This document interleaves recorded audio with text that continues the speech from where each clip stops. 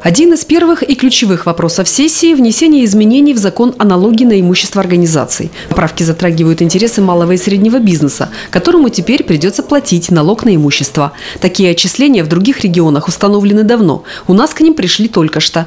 Дабы сделать переход менее болезненным, над законопроектом два месяца трудилась специально созданная рабочая группа. В ее составе представители деловых кругов и региональной власти. Всего 36 человек. Как итог, изменения в закон приняты. На первый год установлена ставка 0,3% от кадастровой стоимости недвижимости, если ее площадь не превышает 900 квадратных метров. Главная задача была рабочей группы – это как раз найти баланс интересов. Как раз э, найти те условия переходного периода, которые позволили смягчить установление налоговой нагрузки на бизнес, сохранить бизнес, сохранить рабочие места. И самое главное, подумать о собираемости налогов, о доходной базе, об исполнении э, социальных обязательств. От экономики к социальной сфере. Здесь заметный вопрос повестки дня – подведение итогов летней оздоровительной кампании. Несмотря на сложные условия, в которых формировался бюджет области этого года, необходимые на кампанию средства были выделены. На эти цели было направлено чуть менее полумиллиарда рублей.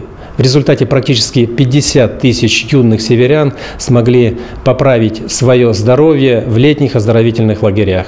В 2017-м существенно возросли требования к организаторам детского отдыха. Каждый лагерь предоставлял большой пакет документов, подтверждающих право принимать детей. И их проверяла Государственная трудовая инспекция. Изменились и образовательные программы. В этом году мы особое внимание уделяли на те программы, которые реализуются, насколько они также соответствуют требованиям времени, э, затрагивают интересы всех детей, всех возрастов, а не только маленьких, как это, к сожалению, тоже иногда бывало. И, в общем-то, наши лагеря нас порадовали. Очень интересные программы были представлены. Ватса парком, Котловский район, лагерь Архангел, который здесь в Архангельске, Робинзонада, в Устьянском районе. То есть постарались. Также в числе самых обсуждаемых на сессии тема строительства спортивной инфраструктуры в регионе и развития спорта в целом. Нам предлагается сегодня из федерального бюджета на строительство объектов 100 миллионов рублей. Ну что можно построить за 100 миллионов рублей?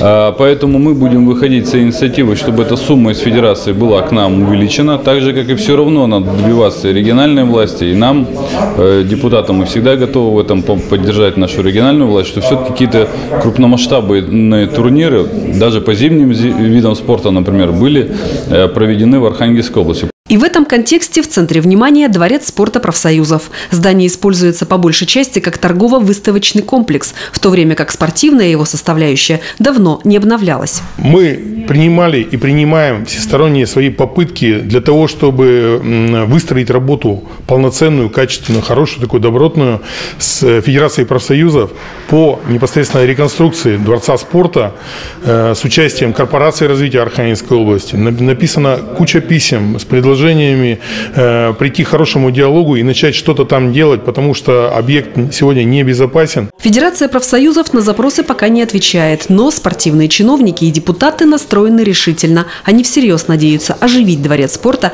и использовать его по прямому назначению.